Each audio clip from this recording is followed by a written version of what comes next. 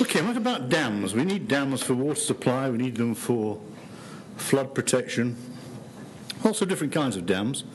There are what are called gravity dams, that's like the one on the left of this picture, it's called the Grand Coulee Dam in uh, the west of America, northwest of America, on the Columbia River. And essentially, it's a large, uh, a large casting of concrete that goes across a river valley. Very heavy. The one on the right is not a, a, an arch dam at all. It's a, a, gravity dam. It's an arch dam. It's used in very narrow river gorges, and it's in the shape of an arch, just like an arch bridge, but on its side. And then the water is forced against the arch, and it uh, it transfers the load into the into the gorge on either side. And then there are things called embankment dams, which are usually made out of earth of some sort, quite often with a clay core in the middle to stop water seeping through them and they tend to be very shallow slopes. Uh, so you've got broadly three kinds of dams. And what I want to talk to you about briefly is the, you'll have heard of Hurricane Katrina in New Orleans. And um, what happened here was some flood levees, some canal embankments uh, were uh, subject to high loads, water level loads. And if you think about it, America is the richest most technically advanced nation on the planet, and in eight hours it was reduced to social chaos because of the failure of a very simple structure. And what happened when, the, when New Orleans became flooded, it, they lost electricity supplies, they lost water supplies.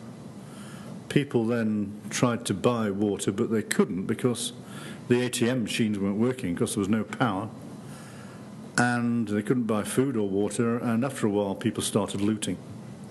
So you can see that the civilized behavior of a normal city such as Edinburgh can be reduced to chaos if simple infrastructure fails. And the simple infrastructure in this case was something like this. This is not the real one, this is a model of one of the embankments. The uh, canal is to the left, and it's in a part of New Orleans called London South.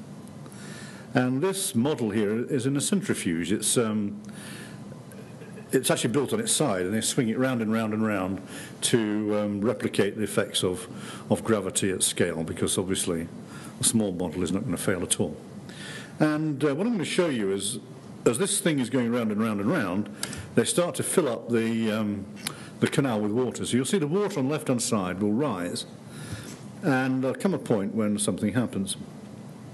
In this particular case, they'd, they'd put this sheet pile wall, that's that vertical thing, uh, in the middle of the embankment, thinking that that would help uh, strengthen the dam. It, it, does one thing, it, it, it, stops seepage underneath the dam, but it, um, you'll see that it renders half of the dam utterly and totally redundant. So I'll, I'll run this, you'll see it three times because you might miss it the first time. Here we go. Fails once, and just repeat it. So you can see it's failed. It's failed by the, the dam actually being pushed so hard it's uh, slid um, along the foundation. So how does that uh, happen? I'll, I'll, show you how it happens really, or we can try and model how it happens, not with uh, an embankment dam, this is a gravity dam, the same principle. So here's this uh, cross-section through this gravity dam, the water's to the right. Um, I've got this dam which has got a sloping front face at some angle, beta, it's got a total height of big H, uh, total width of W at the base, and we leave a bit of something called freeboard, that's little h, at the right-hand side. It's just to make sure that if um, if there are any wave action in the impounded water in the in the reservoir, it doesn't overtop. So it's just uh, to give us a little bit of um, safety against waves overtopping the dam. And if we look at, uh, well, let's, let's fix the freeboard at about five metres. That makes life a bit easier. And let me choose. I'll just choose to design this dam with an angle of 45, uh, 75. And then all I've got to worry about is how big is H and how big is W. So how might I go about that? Well, I might go about it by thinking, okay, what are the forces, or what are the loads on the dam? Well, the dam itself will have a weight uh, which will come down roughly in that line I've shown because it's a it's not a rectangular dam in cross section because it's trapezoidal the line of action or like the center of gravity of this dam is to the right-hand side. And the force from the water is acts at a third of the way up from the floor of the reservoir. It always does that in, in still water. It's always at a third because the pressure distribution is triangular. At the surface of the water, there's no pressure at all, and then it goes to a maximum at the bottom in a straight line, and the centre of gravity of a triangle is a third up, so that's the line of action that it takes. And then we think, okay, well, how can it fail? Well, it could fail by sliding, and what stops it sliding essentially is the resistance between the dam and the foundation, and that's usually a, easily say a third of the weight of the dam it'll, that will exert. So what we've got to do is to make sure that the a third of the weight of the dam is always bigger than that hydrostatic force. So that's, and if we don't, well, that happens. And the other way it might fail is by, by overturning.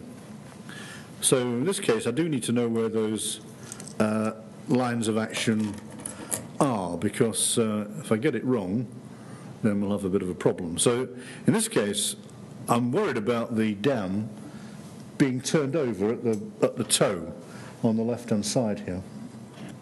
And so it's important that I get these lines of action right. So what I need to know is the distance of that line of action of the weight of the dam from the toe, uh, that horizontal distance. I need to know the vertical distance of... Have you got a pointer? Brilliant. Thanks, Jeff. Great. I need to know this distance here. And I actually need, I didn't write it on the drawing, but I need, I need that distance there. Um, what I'm trying to do is to make sure that this force multiplied by this distance which is called a moment, is bigger than this force multiplied by this distance.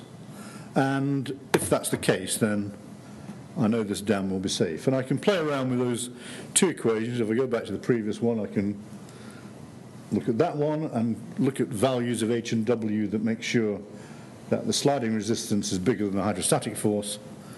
And I can play around with the same values of W and H to make sure that the moment of the dam staying where it is is bigger than the moment trying to overturn it. And that's the kind of problem that you would, I remember doing this as a first year student uh, when I studied engineering. So it's a, it's a practical problem that you can very quickly find a, a solution for. Okay, let's move on to